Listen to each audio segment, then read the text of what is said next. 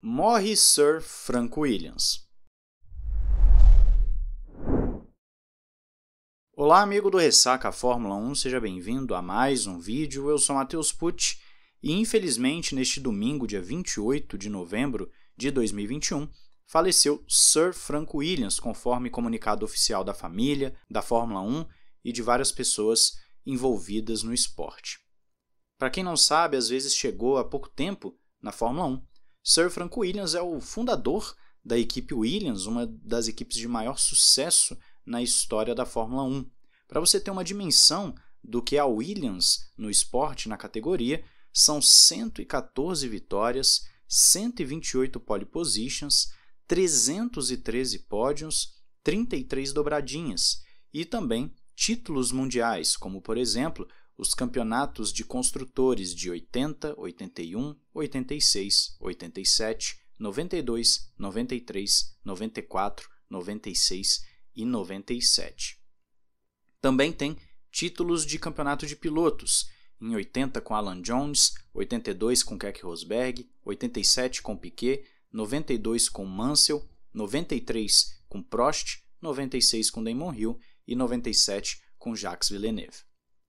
O legado de Frank Williams é algo que pode ser discutido por várias e várias horas. Inclusive, existe um documentário já que você pode ver, se não me falha a memória, no Netflix, que fala sobre a equipe Williams e fala muito da história de superação de Frank Williams, desde o início difícil na categoria, os momentos de alegria, os momentos de títulos, a reviravolta na vida quando sofre o acidente.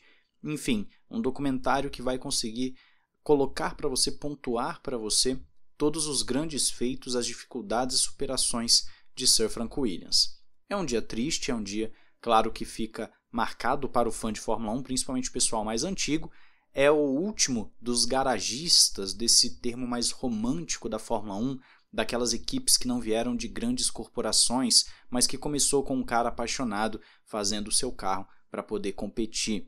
Então passaram grandes campeões mundiais. Hoje é uma equipe que tem a sua gerência feita pela Doriton Capital, que adquiriu esses direitos da Williams, mas a própria Doriton colocou um comunicado afirmando do orgulho que é ter o nome Williams estampado no seu carro. E claro que tiveram também várias controvérsias sobre o sistema de gerenciamento que Frank Williams tinha, mas isso não apaga todo o sucesso, toda a história, toda a importância e todo o legado de determinação, de superação e de vitórias que ele deixa.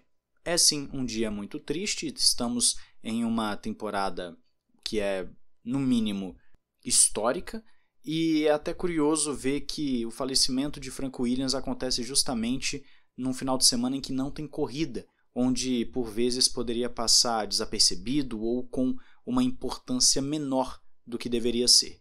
Então fica aqui do Ressaca F1 essa singela homenagem, esse lembrete, esse memorando, esse memorial ao Franco Williams, que é um dos maiores nomes que já passaram em toda a história da Fórmula 1 e do automobilismo mundial.